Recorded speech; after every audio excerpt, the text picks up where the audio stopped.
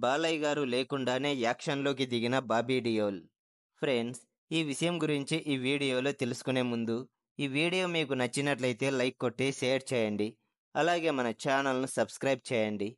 ఇక వివరాల్లోకి వెళ్తే ప్రస్తుతం బాలయ్య గారు తన నూట తొమ్మిదవ సినిమాను చేస్తున్నారు.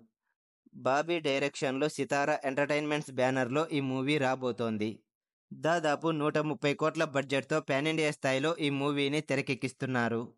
ఇకపోతే బాలయ్య గారు ఏపీ ఎలక్షన్ల కారణంగా ఈ మూవీ షూటింగ్లో పాల్గొనలేదు. కానీ షూటింగ్ మాత్రం యథావిధిగా జరిగిపోతోంది. బాలయ్యను ఢీకొట్టే విలన్ క్యారెక్టర్లో బాబీ డియోల్ కనిపించబోతున్నాడు. ఈయన తాజాగా యానిమల్ మూవీతో భారీ విజయాన్ని తన ఖాతాలో వేసుకున్నాడు. ఈ మధ్యనే ఈ మూవీ షూటింగ్లో జాయిన్ అయ్యాడు బాబీ డియోల్. ఈ విషయాన్ని తెలియజేస్తూ చిత్ర బృందం కూడా ఒక పోస్టర్ని రిలీజ్ చేశారు. ఇక ప్రస్తుతం బాబీ డియోల్కు సంబంధించిన సన్నివేశాలను పూర్తి చేసే పనిలో పడ్డాడు ఈ డైరెక్టర్.